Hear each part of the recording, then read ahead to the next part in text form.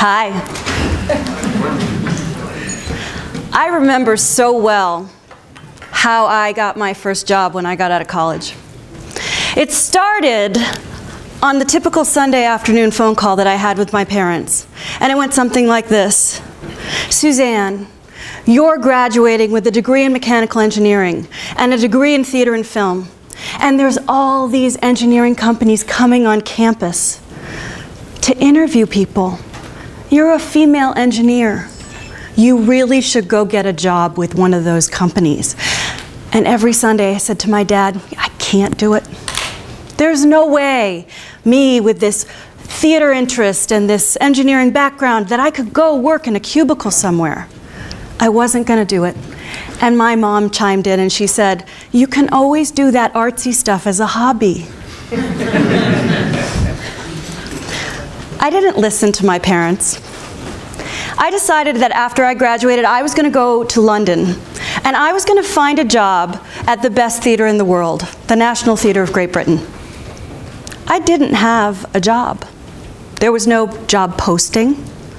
There was no job listing. This was pre internet. How was I going to get a job that I knew nothing about and I knew no one? And somehow I was bound to determine that this is what I was going to do.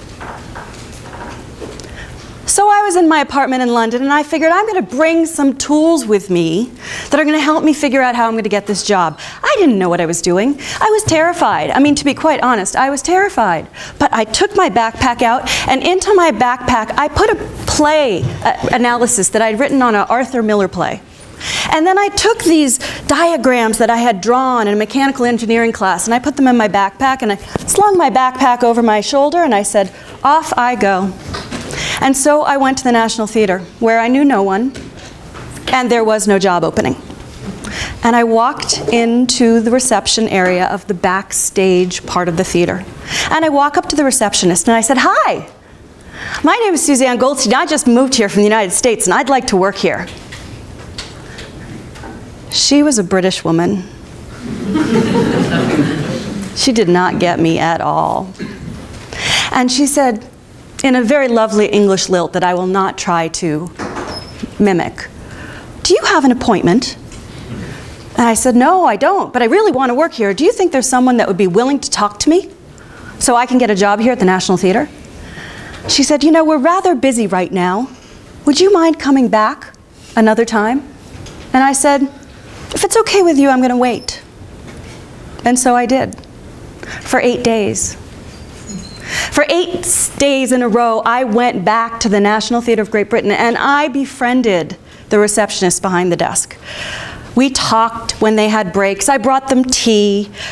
I learned everything I could about the theater. I watched, read every playbill. I read everything that was going on. And on the eighth day, what I call my Hanukkah miracle, one of the receptionists said, There's a gentleman who's interested in talking to you. And I went in, and it turns out that he was the production manager at one of the stages at the National Theatre of Great Britain. And he needed someone who knew theater and knew mechanical drafting. that was me. And that's how I landed my first job. Now, I do not recommend that any of you go out and sit in a lobby for eight days these days. You will end up in jail. And it's a very different scenario. So I don't want you to do that. But what I do want to illustrate in that story is what I call the day I discovered my paintbrush. The name of my book is Carry a Paintbrush How to Be the Artistic Director of Your Own Career. And what I learned in that moment is that I carried with me a bucket of paint and a paintbrush. And when I saw an opportunity that I wanted to go after, I took out that paint and I took out that paintbrush and I painted a doorway.